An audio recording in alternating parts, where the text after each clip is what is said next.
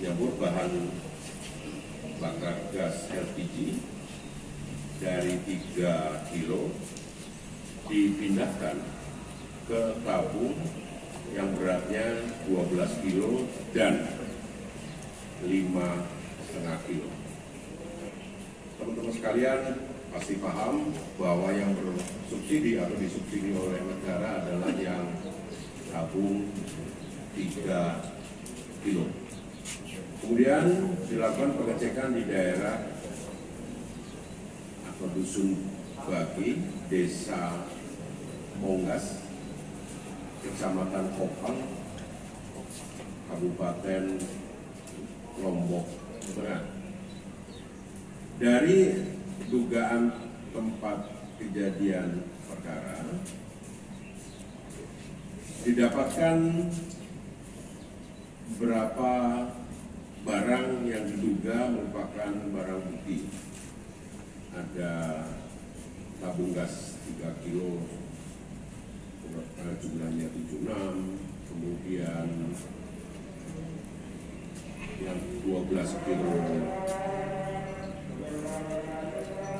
warna biru 46 tabung, 12 kilo warna pink 23, 5,5 kilogram warna pink 22, kemudian selang regulator 10, tutup segel tabung gas LPG 5,5 kg dan 12 kg sebanyak 1.400 Kemudian satu buah mesin hair dryer.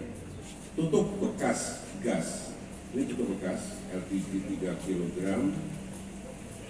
sebanyak 69.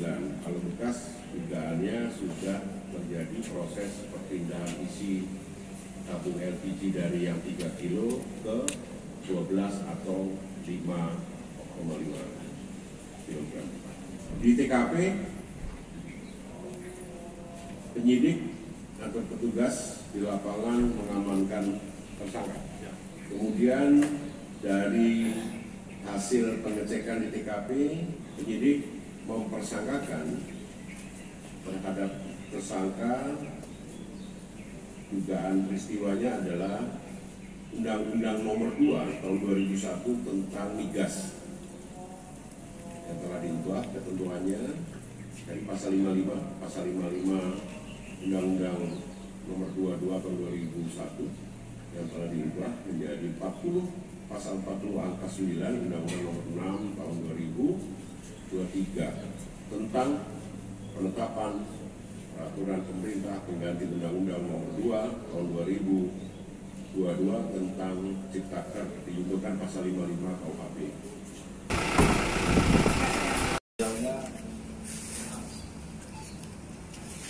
Beberapa tempat juga yang dilakukan di luar NTB. Namun demikian, dengan adanya jumlah yang begitu banyak sampai dengan lebih dari 100 tabung, sehingga dimungkinkan terjadinya tindak pidana tersebut berulang kali. Memang dari hasil penyelidikan dan penyidikan kita masih dari awal Juni, tetapi namun demikian kita tetap mendalami bagaimana bisa proses itu terjadi mulai dari pembelian sampai dengan pengoplosan, kemudian lokasi sampai dengan pendistribusian. Selain itu kita juga bersama dengan uh, pihak Pertamina dan ini juga sudah kami sampaikan kepada pihak Pertamina bahwasanya kita telah melakukan pengungkapan hasil daripada subsidi menjadi non subsidi. Ini yang menjadikan kita kerjasama terhadap Pertamina juga untuk uh, dapatnya bersama mengantisipasi hal-hal yang lain. Kemudian selanjutnya uh, tetap pelaksanaan ini kami kembangkan sampai dengan uh, maksimal untuk pengungkapan kasus ini. Dan semoga ini juga bisa mendapatkan gambaran bagi kita semua bagaimana begitu mudahnya pengoplosan ataupun penyelewengan daripada subsidi menjadi non subsidi. Ya.